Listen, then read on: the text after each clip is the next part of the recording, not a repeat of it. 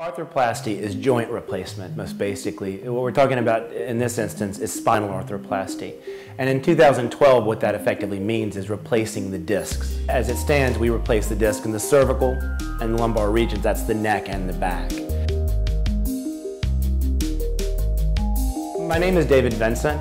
I am a board certified fellowship trained neurological surgeon. I practice in Norfolk, Virginia at Neurosurgical Specialists.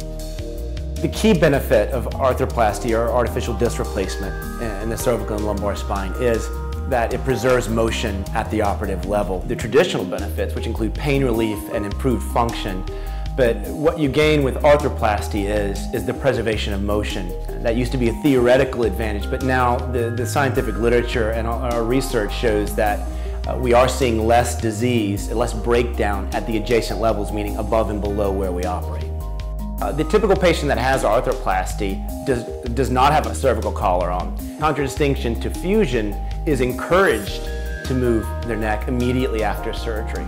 The typical candidate is a young to middle-aged active uh, adult.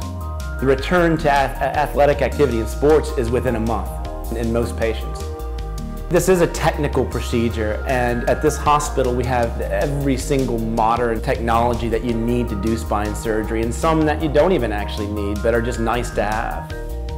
I practice at DePaul primarily because of the team-oriented approach at this hospital. Uh, it's easy to focus on the bricks and the mortar but when it comes down to it, the patient care really is decided on the quality of the team members.